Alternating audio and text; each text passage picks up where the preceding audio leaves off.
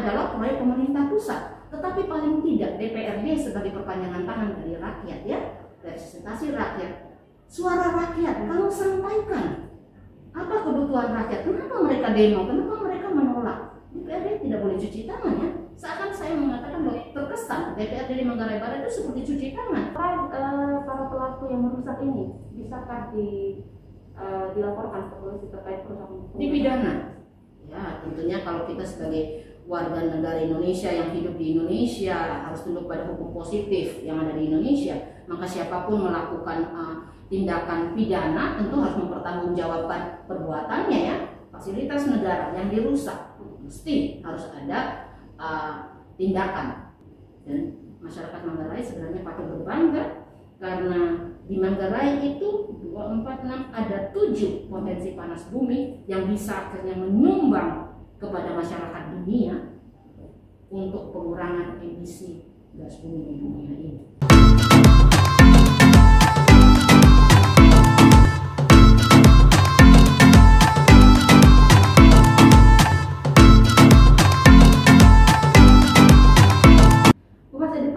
Paskupan hari ini akan membahas tentang jalan keluar terbaik yang harus dicari terkait uh, permasalahan uh, pembangunan uh, geotermal yang uh, kita tahu bahwa kemarin uh, beberapa hari lalu ada terjadi penolakan uh, aksi penolakan di Kabupaten Manggarai Barat. Nah ini uh, untuk membahas hal ini sudah hadir bersama rekan saya koordinator liputan Paskupan Pak Karnovel. Selamat pagi. Selamat pagi Ella. Oke. Nah ini mungkin Tribuners juga penasaran nih. Uh, kemarin kita mende, uh, melihat nih banyak informasi berseliweran di media sosial kalau ada terjadi aksi demo di Manggarai Barat. Nah mungkin itu yang Tribuners ingin tahu kenapa mereka sampai demo. Ya. Baik, um, terima kasih Ella. Um, selamat jumpa Tribuners. Ini beberapa hari lalu kita tahu bahwa sejumlah masyarakat ya, uh, masyarakat dari Kampung Nunang, Desa Waisano dan Kampung Dasak ya, bila uh, ke sana dengan uh, ada Pemkri juga ya, itu juga di sana. Mereka jelas mereka melakukan aksi damai ingin menolak pembangunan panas bumi atau geotermal di kampung Nunang itu. Dan uh, mereka ingin bertemu dengan bupati sebenarnya dalam uh, liputan itu adalah uh, ingin berdialog lebih uh, banyak tentang bagaimana perkembangan proyek di Nunang itu. Karena penolakan ini sebenarnya sudah terjadi lima tahun lalu ya. Lima tahun lalu mereka uh, menolak itu sehingga mereka ingin bertemu bupati. Namun sepertinya keinginan itu tidak kesampaian. Sehingga akhirnya terjadi di lapangan ya. Akhirnya terjadi desak-desakan menerobos masuk sehingga mengorbankan uh, kita lihat dalam gambar ya ya. Saling aksi saling dorong itu menghalau ada pol pp dan sebagainya. Akhirnya rusaklah. Oke. Yang tadinya aksi damai jadinya rusuh. Hmm, seperti itu.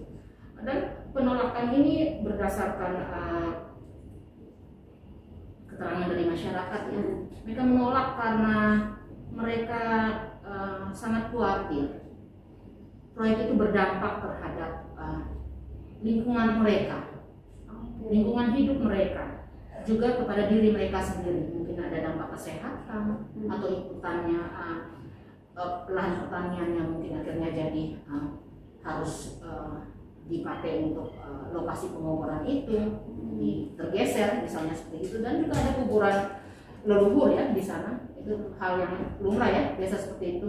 Ada uh, pertaniannya juga di sana perkebunannya mereka di sana perumahan juga di sana. Terlebih bahwa mereka khawatir tentang dampaknya Oke. yang akan kena dengan mereka sehingga mereka melakukan aksi menolak adanya pembangunan geotermal atau panas bumi Oke, dan memang uh, Tribuners pembuangan dari pembuangan pembangunan dalam bentuk apa pun pasti akan ada dampaknya. Namun pasti ya. uh, yang yang harus sampai ke masyarakat adalah uh, untuk mengatasi dampak seperti ini uh, caranya seperti ini. Nah mungkin itu itu itu yang belum sampai ke masyarakat. Uh, Kira-kira seperti itu kan? Iya, begini, uh, Kakak Ella dan Tribuners, uh, kita tahu ya, saya ngobrol tentang proyek eksplorasi. Proyek eksplorasi panas bumi di Waisau ini sebenarnya merupakan pro- proyek pengembangan panas bumi yang merupakan bagian dari proyek strategi nasional atau PNS dengan nama proyek pengoboran pemerintah atau government drilling GEUDPP ya. Dan ini dananya dari internasional. Kita harus tahu dulu seperti gini apa sih sebenarnya fungsi dari panas bumi itu? Kenapa harus eh, kita harus saat ini harus melakukan pengembangan panas bumi Hmm. di beberapa tempat yang punya potensi potensi potensi itu ya seperti itu. Kita tahu bahwa sekarang coba kita lihat ya ya, es, eh, cuaca kita sangat ekstrim ya. Ketika hujan hujannya sangat panjang ketika panas panasnya juga sangat panjang dan dampak kekeringan terhadap masyarakat kita lihat itu ya cuaca sangat ekstrim. Ini karena apa? Karena adanya pemanasan global ya. Pemanasan global akibat penggunaan akibat perilaku kita kemudian penggunaan penggunaan zat-zat dan ini ya sehingga salah satu sebenarnya upaya untuk meminimalisir adanya efek rumah kaca dan pemanasan global dan situasi ekstrim itu salah satunya dengan bagaimana kita memanfaatkan potensi panas bumi yang ada di daerah kita masing-masing. Nah, dan panas bumi itu akhirnya bisa untuk menggantikan energi listrik ya. Ya, Selain itu juga untuk mengurangi penggunaan minyak loh ya, dengan panas bumi itu dan mengurangi juga penggunaan batu bara, gas dan juga kan mengurangi tadi saya bilang eh, eh, emisi rumah kaca itu. Dan kabar gembiranya adalah bahwa di Indonesia Hmm. dan di, terlebih di Nusa Tenggara Timur ya, kita sekarang punya potensi di 28 titik geotermal panas di seluruh di NTT. seluruh NTT dan nilainya itu maksudnya berapa kekuatan potensinya ada 861 megawatt 861 satu megawatt ini sangat besar, besar. sangat besar. Mungkin bisa menerangi listrik bukan hanya di eh, NTT ya. Mungkin di Seluruh- antar provinsi juga ya kan? karena begitu besar daya yang akan dihasilkan. Dan Waisano Manggarai Barat ini punya potensi 45 megawatt. Bayangkan besarnya. Padahal di lain tempat yang di 28 titik lain itu hanya 5 hanya 10 Ella tahu bahwa di Ulumbu Manggarai yang sudah beroperasi sekarang itu 10 megawatt. Hanya 10 sementara di Waisano itu berapa 45 dan di NTT ini kita baru dua yang beroperasi di Ulumbu dengan di Mataloko daerahnya Ella ya? Mataloko bukan bukan. Ella dari mana? Dari Belu. Saya kira dari Bajau ya di Mataloko Ngada itu ada 16 RW jadi Waisano ini besar 45 iya 25 dan Nah. itu eh, yang memang harus eh, di apa namanya diberdayakan uh, di- harus dikembangkan memang potensi itu ya dikembangkan di sana sehingga kita bisa menyumbang kepada bukan hanya kepada daerah bukan hanya kepada Indonesia tapi kepada dunia untuk bisa mengurangi tadi emisi rumah kaca dan pemanasan global ini. Hanya saja mungkin apakah hal ini tersampaikan ke masyarakat manfaat dari panas bumi itu dan kemudian di masyarakat itu bagaimana harus dicari jalan keluar sudah lima tahun loh ya sudah lima tahun dan masih belum ada tanda-tanda pergerakan dari pihak-pihak yang bersangkutan. Dan oh ya, kalau seperti itu makanya wajar masyarakat terus menuntut. Memang Iya. mereka harus mengetahui apa apa sebenarnya yang akan mereka hadapi di kemudian hari ketika eh, proyek ini benar-benar dijalankan dan akhirnya di, eh, digunakan. dioperasikan. Iya, tentunya mm, eh, eh, kekhawatiran masyarakat juga tidak berlebihan menurut saya. Bayangkan kalau eksplorasi panas bumi itu berada hanya berapa meter dari rumahnya. Apa nih dampaknya? Tentu kekhawatiran itu, aduh dampaknya seperti apa? Masyarakat yang awam tidak tahu kan? Harus sebenarnya idealnya jaraknya berapa? Dari rumah, dari tempat kita beraktivitas, kebun, dan pertanyaan lainnya harusnya jarak berapa uh, uh, berapa jauh sehingga itu aman.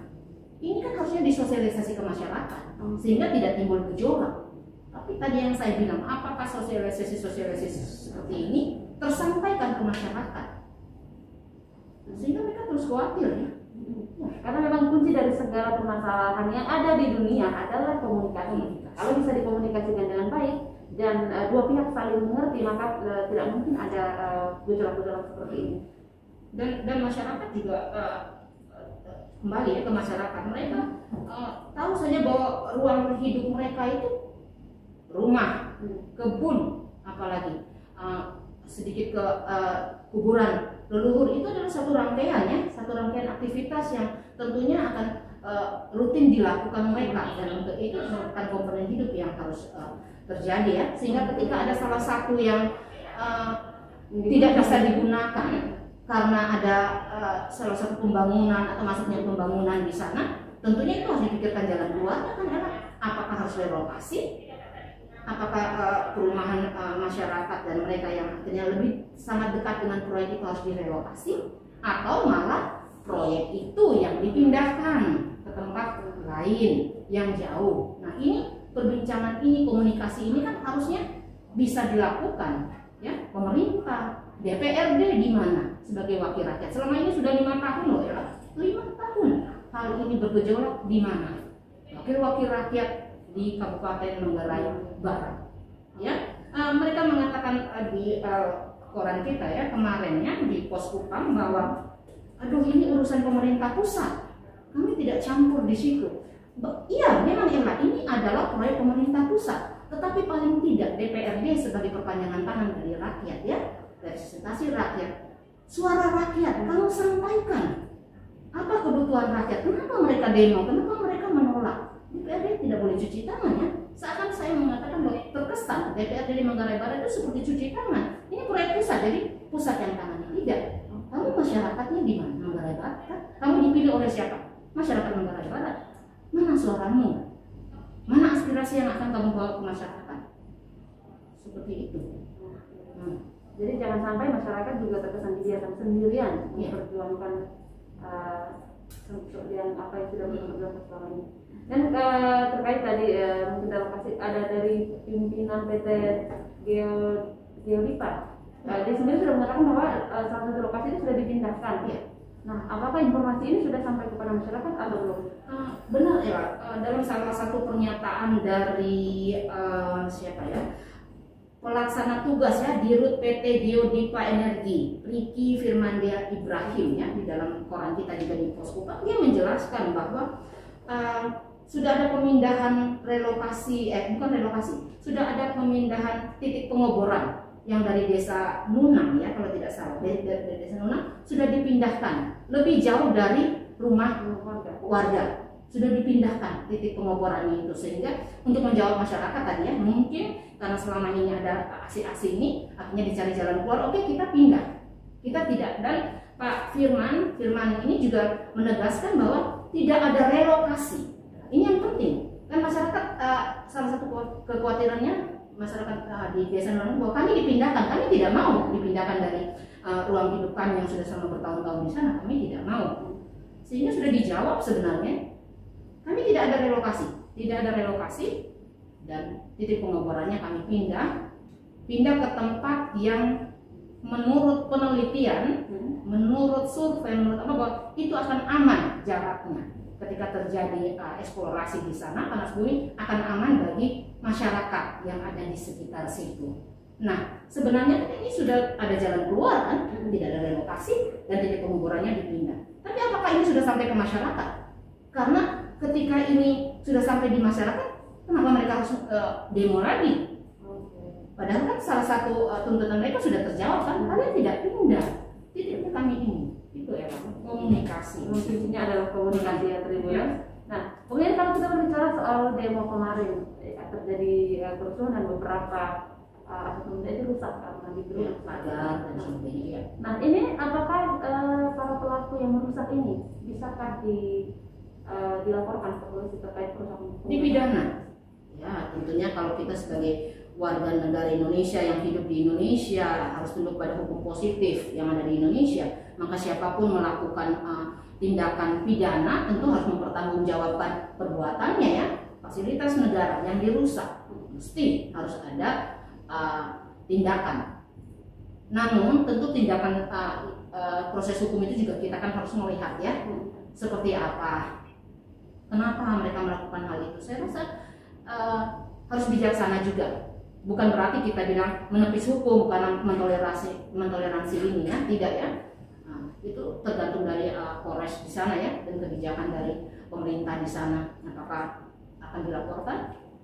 Walaupun ini bukan dari aduan ini pidana tapi saya rasa dengan kebijaksanaan untuk mencari jalan keluar terbaik ya kita harus uh, tetap mengedepankan hukum menemukan siapa pelakunya dan diproses seperti seperti judul salam kita hari ini cari jalan keluar terbaik. Jadi untuk masalah apa pun pasti akan ada. Sehingga Ella artinya ketika ada aksi-aksi berikutnya ini kan pelajaran. Kita tidak boleh anarkis. kita tidak boleh anarkis menggunakan cara-cara yang baik karena ketika kita mau menyampaikan sesuatu aspirasi kita yang baik tapi kita melakukan dengan cara-cara yang salah tentu itu mungkin lebih tidak akan didengar. Bahkan kita akan menambah lagi kasus baru. Ya karena kita merusak dan sebagainya. Ya. DPR atau uh, DPR juga harus uh, membuka telinga ya membuka hati untuk masyarakat. Ayo ke sana dan uh, berada di samping masyarakat untuk berjuang bersama-sama berjuang dalam tanda kutip ya.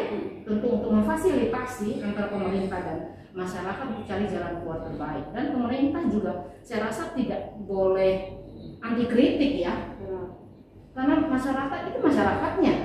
Ketika ada sesuatu yang tidak beres masyarakat akan melakukan uh, aksinya. Dan sebagai pemerintah sebagai ibu sebagai ayah dengan jabatan bupati itu bukalah juga mata dan telinga mendengar aspirasi itu mencari jalan keluar. Kuncinya hanya kepada sosialisasi.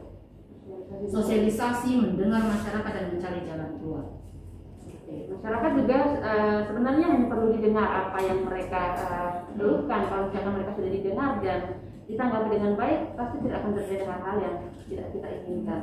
Oke nah ini uh, di akhir acara mungkin kalau bisa memberikan pesan kepada masyarakat yang kemarin melakukan aksi. Uh, semoga mereka juga menonton uh, Kupas dalam hari ini Tribunas ya baik. Uh, terima kasih Ella.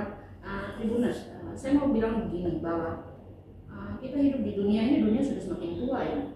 Banyak akibat-akibat uh, yang bisa terjadi akibat kegiatan kita tadi. Panas bumi semakin lama semakin uh, tinggi. Dan itu bisa akan berdampak bukan pada kesehatan tapi juga mungkin pada ekonomi nanti. Kita kan uh, terganggu juga.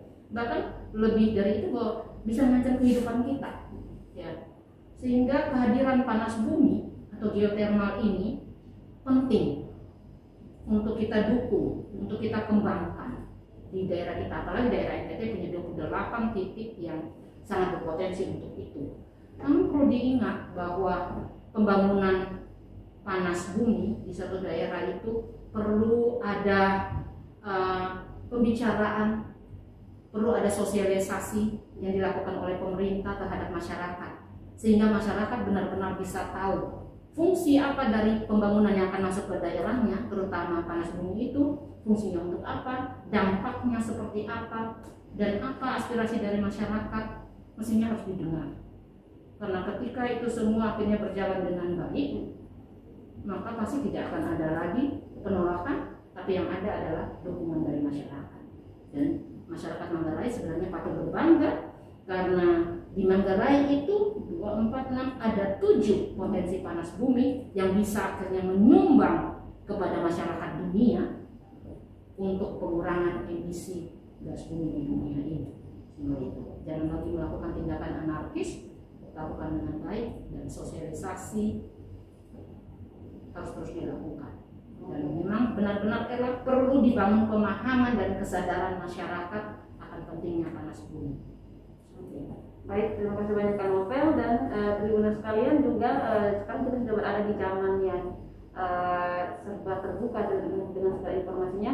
Tribuners sekalian mungkin bisa mengakses informasi-informasi tentang uh, apa itu geothermal dan lain sebagainya sehingga bisa mengetahui lebih banyak dan uh, ketika uh, ketika akan bertindak bisa lebih memikirkan dari segala sisi bukan hanya dari satu sisi. Ya, nah, dengan poskupam sangat banyak ya. Online poskupam uh, print poskupam juga sangat banyak menyajikan tentang geothermal Oke, dan poskupam pastinya akan selalu memberikan apa yang masyarakat butuhkan. Uh, ketika masyarakat membutuhkan informasi apa pun poskupam pasti akan menyediakannya dalam uh, baik tayangan-tayangan maupun tulisan-tulisan artikel dan juga koran cetak.